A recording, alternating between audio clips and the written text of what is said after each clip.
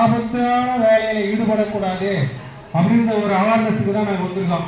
பட்டாசை எப்படி வெடிக்கணும்னா நம்ம வந்து கண்ணில் படம். அப்புறம் காலில் வந்து தீ காயப்படும். கண்ணில் வந்து அந்த என்ன சங்கு சத்தத்துற மாதிரி சுத்தம் அது என்ன பட்டாசு சொல்லுவீங்க இங்கே?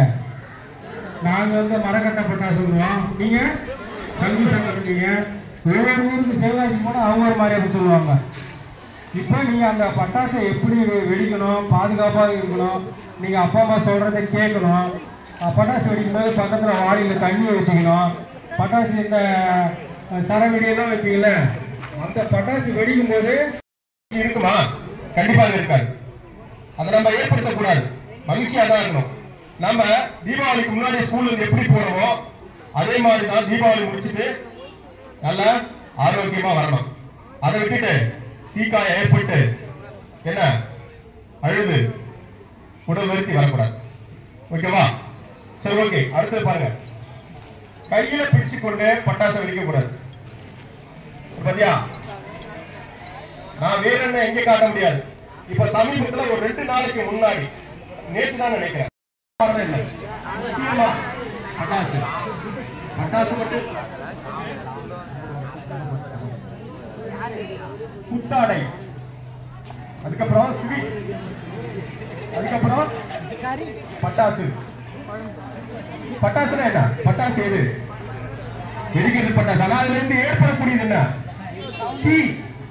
அந்த தீய மென்ஷன் பண்ணி தான் தீபாவளின்னு கொண்டாடுறோம் ஓகேவா? தீபாவளி எப்படி பேர் வந்துச்சு? என்ன?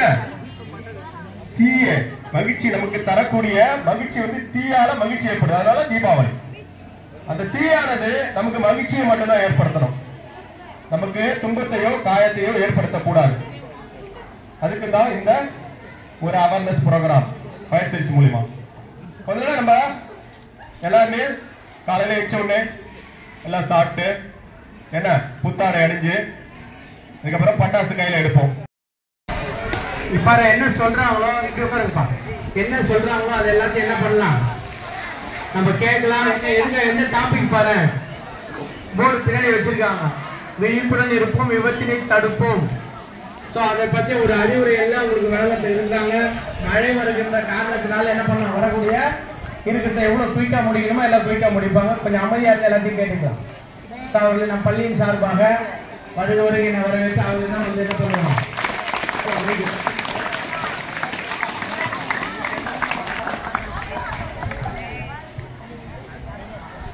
from Tamil Nadu.